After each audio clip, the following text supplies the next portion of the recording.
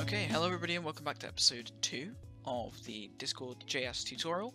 We're going to go straight into it today, I've got a little bit of stuff to cover. First of all, I'm going to go ahead and very briefly set up a uh, GitHub page, uh, a Git, Git repository for this uh, sort of stuff. So I've already created the repository, you can go do that there by typing, uh, pressing the button up here in the top right. You will need a GitHub account, of course, new repository and do all this stuff.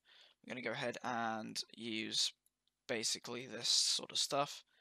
And we're going to go into Discord bot. We're going to open the git bash. We're going to, I don't know why I copied that. We're going to initialize the repository.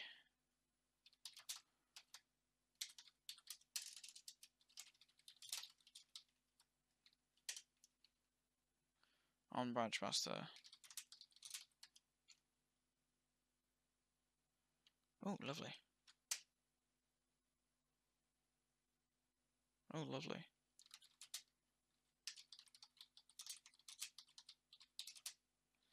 And we want this.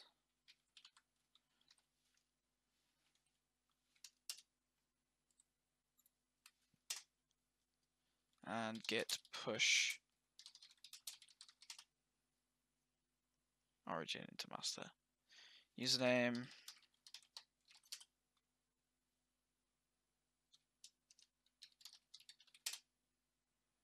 Print the password. And it should have pushed into it, I believe. Hooray, there we go. Okay, right. So we now have all the information, all the stuff, all the files, everything's good. So we now have a lovely uh, repository all set up with all of the code, which you guys can go ahead and look at as we uh, as we go. What I'm going to do is the master the master branch is just going to I'm going to probably try and put them into different episodes, uh, so the different code changes and everything is going to be in different episodes, so you guys can uh, see what's going on there. So the first thing we're going to do is while we're in here, if you're ever um, editing your bot and you have it hosted on somewhere and you don't want to affect that while you're posting to GitHub. So, say for example, you have a Heroku um, account with the bot being hosted on that platform. Uh, you and you you have it on automatic um, pull from the master branch, and you want to save code to GitHub. Uh, you don't want to save it to the master branch, of course, because it's code that's still being worked on. So you would make a different uh, branch. So we're going to go ahead and check out to. Uh, we're going to select Discord bot, and we're going to create a new branch, and we're going to call this. I'm going to call this episode 2. And that has set our branch, I believe, to episode 2, as you can see here in the uh, source control button, uh, source control menu on the side. Okay, so we can go ahead and continue working on this. So what I want to do in this episode, I believe, is, I guess, start with some sort of uh, command handling. Oh, you'll have to excuse me. Uh, yeah, I want to start on some sort of command handling so we don't have uh, all these if statements cluttering up the uh, message event. The reason we do this is because essentially we can have different files for the um, uh, different files for the uh, for the, the, each of the different commands, and then we can have things like uh, adaptive, um, I guess, help commands and stuff like that, and we can also have things like shortened versions of commands, aliases of commands, uh, and all that sort of stuff, all the cool stuff we want to do. Um, and that is done using a command handler, which will replace uh, most of this stuff, if not all of this stuff here. Not this stuff, this stuff will probably stay. So uh, we can go ahead and get go ahead and get right into that, I guess. Okay, so what we're going to do is we're going to, of course, well, now we're on a different branch, we can safely delete this. And what I want to do is I want to set up a couple of uh, return setups, or uh, return um, conditions, I guess. So we're going to say if not message dot content dot starts with oh it's msg my bad. Um message dot content dot starts with so you know what? I am going to rename uh, the ms the uh, message variable in the arrow function to message uh, because that's what I'm used to using. So I'm just going to use that. And we're going to prefix in here. And oh, prefix or message dot author dot id double equals client dot user dot id. So basically what this will do is if the uh, message content starts with the pre if the message content doesn't start with the prefix or the message author ID is uh, the same as the client user ID so it will ignore um, messages sent by the uh, bot then we can go ahead and return that. Uh, we're going to want to set up arguments. So we're going to use a constant. Uh, arguments is message.content dot slice, which is a string function. I'm going to say prefix length to remove that. And then we're going to uh, split those so create the an array with uh, by splitting that, and we're going to use a space. Uh, what next? Next, I think we want to um, make sure that we're getting the correct command, uh, I guess, all the time, pretty much. So we're going to use another constant. We're going to call this command, and we want to args dot uh, shift to lowercase. And of course this is a function, so it needs a set of parentheses. Uh, next we're going to if the, uh, wait actually we don't need that because we have all of our stuff already there. Um, that means basically, I'll give you an example of what that means. So if if we were doing this without the command handler, we can say if command uh, triple equals ping message dot channel dot send pong. Uh, I'll put semicolon there, and we will uh, launch oh, node. Uh, what was it called? Aegis.js. Launch the bot, and then we can go into bomb crater, our server. I'm going to say ping and it'll reply pong. So that's basically what this uh, this uh, this um, code does here. So essentially, I'll go over it again. We have the return conditions, which is if the message doesn't start with the prefix or the message was sent by the bot. And then we say uh, the arguments is the content sliced with the prefix length uh, removed from that. So basically removes the first, in this case, two um, characters from the string that we sent. So that would be the uh, the message that we sent. So that would be the A exclamation mark. Then uh, we split that remaining text with a space. After that, we get the command, which is basically shifting all of the arguments to uh, lowercase, and essentially gets the first uh, element from an array. So that will be the actual command name. That'll be the first thing that comes into the array. And then if we have multiple arguments, of course, they won't be affected by the shift. So that's good.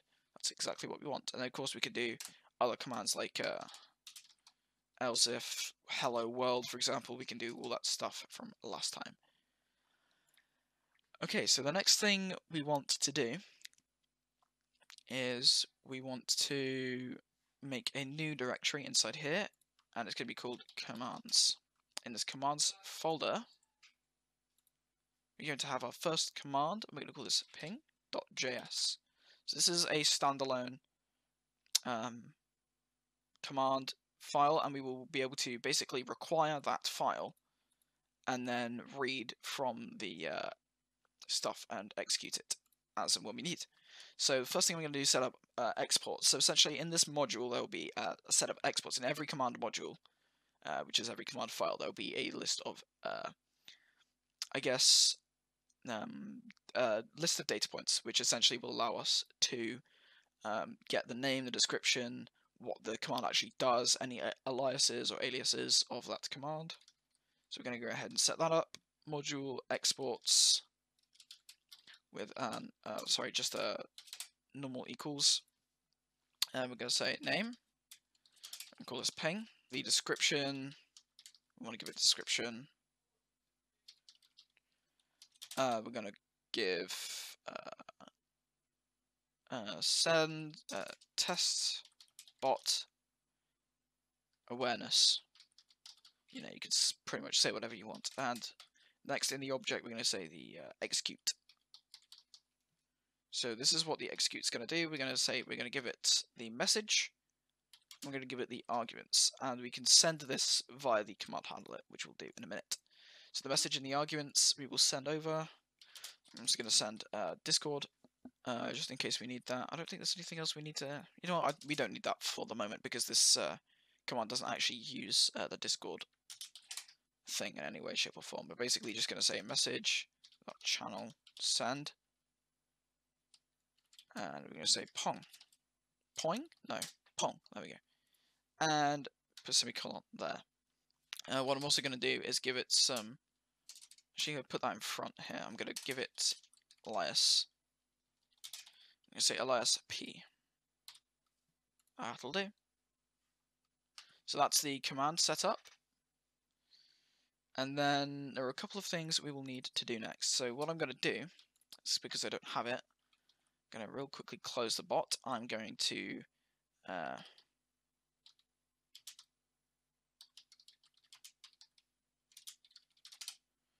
install the file system, which I don't think I already have. Um, do I already have FS? Oh, I do. Okay, right. Oh, that, that's that's just added it. Hmm. Spat out a load of hours, errors. Blech. And of course, in the package JSON, we also now have the file system thing. What I'm also going to do is say discord.js.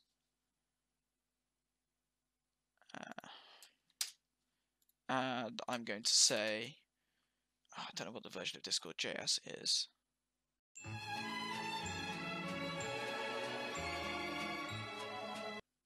Okay, so the version of Discord Discord.js I'm using is 11.3.0. You can find that by doing npm help, I found out. Uh, don't worry about the anything else really for now. Uh, it doesn't really matter. Okay, so back where we were. The next thing we want to do is, uh, of course, require uh, file system equals uh, require fs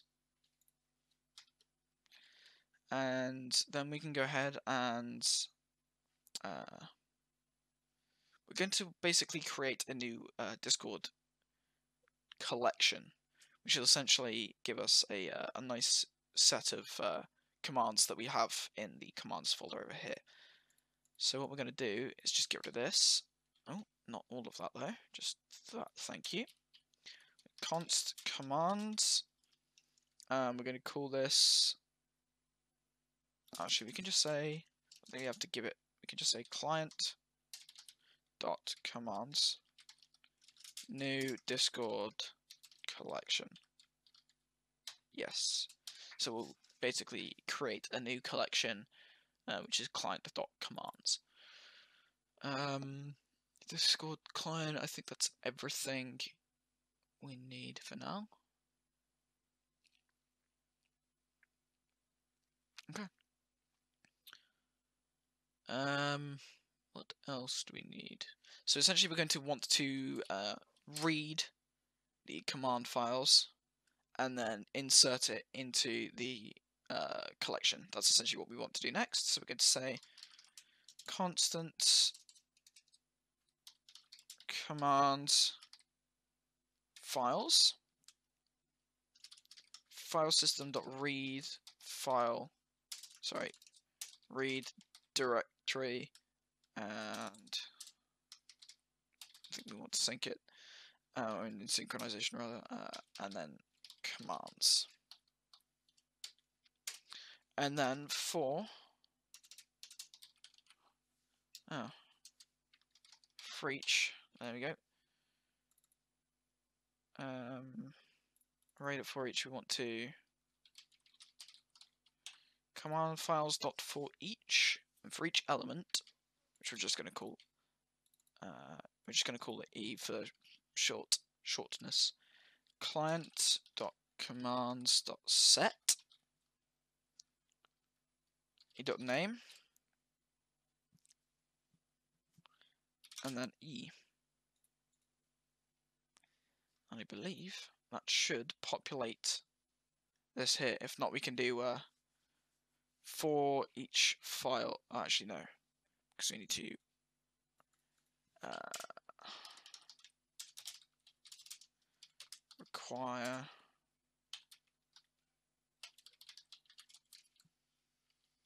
we need to do interpolated strings here. So we'll say commands file.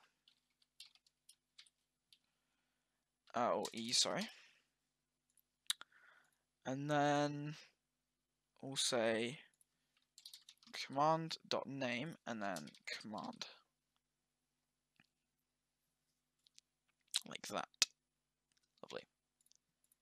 so basically what this does is sets a new item in the collection uh, and then the key is the command name so this is the key that we want I think it should give no okay maybe not but uh, this is the key that we want and this is the um, the value sort of as the uh, exported module that we want. So let's just recap on what everything does. So you've got the arguments and the command, and then we're creating a new collection. We are finding all the files using the file system and then read directory. We are then, for each uh, element in this command files array which has been created, uh, we want to uh, require the command and then basically read the command dot name, which we have the module exports here, which is ping, and then the actual command uh, thing itself. So that's all the information we need, I believe. Um,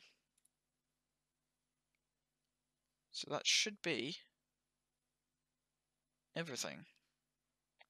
Now what we can do is if we come down here if command ping then we can say client commands commands get. Uh, we want to get ping. Dot execute. Dot sex yes. Dot execute. If I can spell execute that'd be nice. With uh, message arguments or args. And that should be that. I'm just gonna put colons and everything. And we should be good to go. So let's go ahead and launch the bot. Actually you know what I'm gonna do? Clear and we'll launch the bot now. And then we should be able to do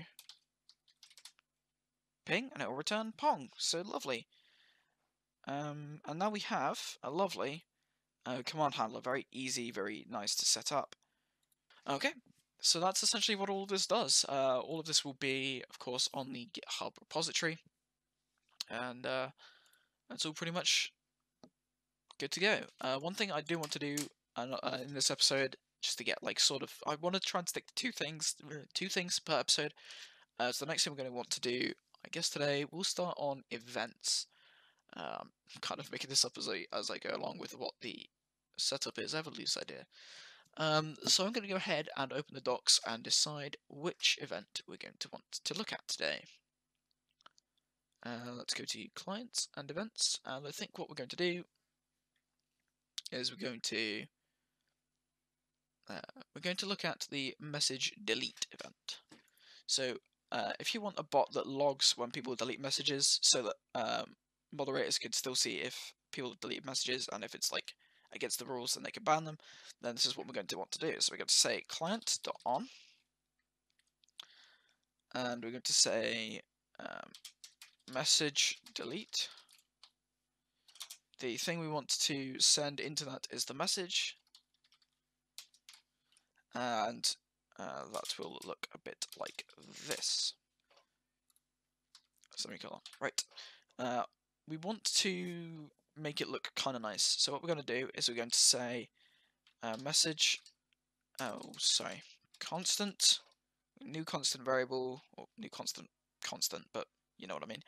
Uh, we're going to say uh, embed equals new discord rich embed. We don't want a semicolon. Um, so essentially, what embeds are are they they're the uh, cool looking things that you see all of the time, uh, which look a bit like this. These are embeds. So essentially, you have fields each you can put in, uh, data into. You can also put timestamps and stuff, um, like timestamps here, and other information, that sort of stuff. So what I'm going to do is I'm going to say embed. Oh, we don't even need to put that. So we can say just simply dot um, add field a user deleted message. Or actually even better we can say um, message dot author dot dis display name. I think we can do that. Message to author to display name. Let me check the docs real quick because I keep forgetting which way around this goes. Um, message dot author returns a user and then we want the uh, display name no we can't do that uh, can we do dot member? Hmm. What can we do? Username dot tag. We'll do dot tag. Tell you what. Uh, display names we'll get into. They are a guild member object. We won't worry about those for now uh, until until later on. Um, we want to add a field, and we're going to say uh, this member deleted a message. Uh, the next thing we're going to want to add is uh, the message content, which we'll just put there. And uh, in fact, what we'll do is we'll do a bit of error trapping here. So we'll say content m content is a variable, and then we'll go to here var content equals m dot content uh, message dot content. And and then if um, content um, content equals I could not find any content. This may have been an image post. Uh, might as well do for now and then we'll say add field uh, user ID user ID is, and then we'll say message.author.id. After that, um, so we'll say message.channel.send, and then the embed object. Note, very, very big note here. If you call your embed something other than embed, so say you call it delete embed, then you will need to do something a bit like this. So the embed and then the actual name of the embed. But if the embed is called embed, then then it's all good. Okay, so we can go ahead and save that, and we will restart the bot. What we're going to do then is go to Discord, wherever Discord is, there it is. Say And then if I delete my message... Oh, interesting. M content is not defined. Hmm. Oh, okay. What did we do wrong? Oh, I called it content, not M content. Of course I did. Um, I delete a message here.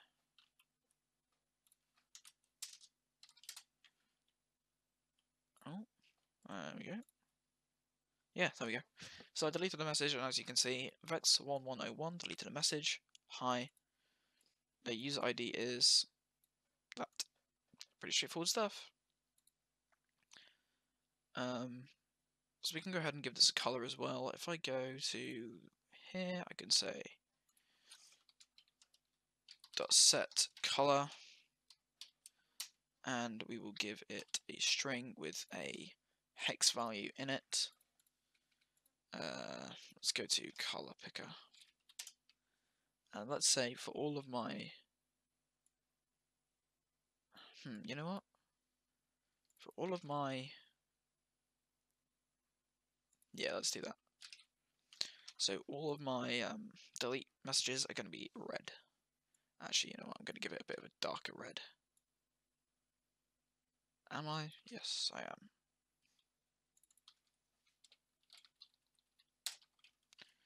Restart our bot. We can put in hello and then go away. Delete the message and as you can see the color is now red.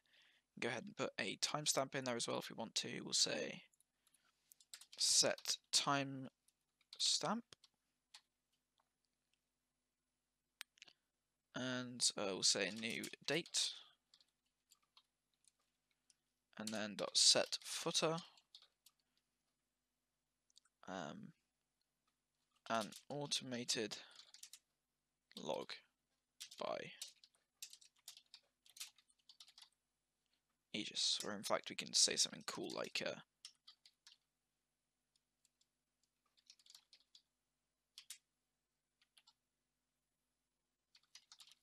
Aegis delete event. Sounds good to me. Let's restart the bot again. We'll say hello, delete the uh, message, and there we go. So we now have a time, which is uh, this time will change um, for people. So if they're not in GMT, it will change. And then we have the Aegis delete event footer here, and the content. I deleted a message. The user ID is this. If you want to send it to another channel, so say for example you have a log channel where all this information goes to, you will need to get the channel through the ID. So I'm going to go ahead and copy the channel ID right here. And I'm going to go ahead and uh, var, uh, we're going to call this log channel raw ID. I'm going to put the raw ID in there.